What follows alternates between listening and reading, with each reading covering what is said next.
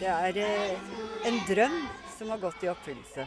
Jeg har spurt meg mange ganger er det virkelig sant. Og det er jo det, da.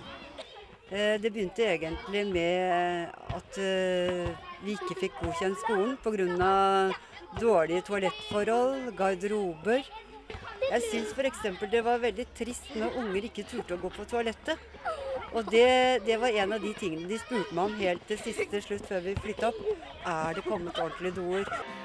Så kom igjen, Berge skole.